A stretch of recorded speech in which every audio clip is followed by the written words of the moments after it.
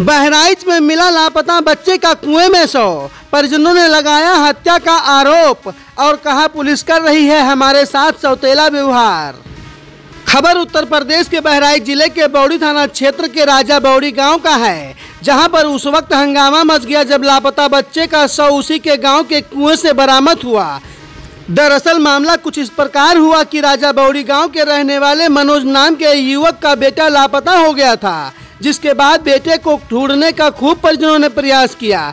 जब परिजनों को लापता हुआ बच्चा नहीं मिला तो परिजनों के द्वारा पुलिस को बच्चे के लापता होने की सूचना दी गई, जिस पर परिजनों द्वारा बताया गया कि बौड़ी थाना की पुलिस हम लोगों के अनुसूचित जनजात होने के कारण हमारे साथ सौतेला व्यवहार किया गया और प्रार्थना पत्र देने के बाद भी गुमशुदगी की रिपोर्ट दर्ज नहीं किया गया।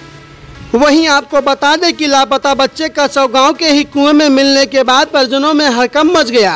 परिजनों का जहाँ रो रो कर बुरा हाल था, वहीं गाँव के लोगों में भी बच्चे का लापता होने के बाद कुएँ में शव मिलने की वारदात को देखकर हड़कम मच गया। जानकारी के लिए आपको बता दें कि परिजनों के द्वारा सूचना देने पर पुलिस मौके पर पहुँची, जिसके बाद बच्चे के शव को कुएँ से बाहर निकलवाया गया। पुलिस ने बच्चे के शव को कब्जे में लेकर पोस्टमार्टम के लिए भेज दिया और आगे की कार्रवाई में जुट गई।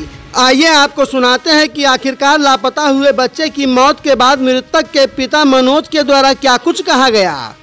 क्या नाम है? मनोज। कहाँ के रहने वाले राजा बुंडी अ, क्या मामला है? आपका बेटा गायब हो गया था शाम मामला में ये है हमारा बेटा खो गया था और ढूंढ रहे थे नहीं मिला तो थाने में गए एप्लीकेशन देने। तो वहाँ से हमको भगा दिया गया और उसके सुबह चार बजे लाश हमको मिली और हमारे साथ मतलब शाम को चार बजे। शाम को चार बजे कोई कार्रवाई नहीं की गई कोई सुनवाई नहीं की गई। किसी पर शक है? नहीं शक है। हाँ और हम अनुसूचित जात से थे ऐसी जात से इसलिए हमको भगा दिया गया। किसने भगाया आपको? साहब वहाँ का दरोगा। कहाँ का? बौंडी थाने का। क्या मांग करते हैं आप? मांग ये करते हैं कि हमको जो है न्याय मिलना चाहिए इंसाफ मिलना चाहिए।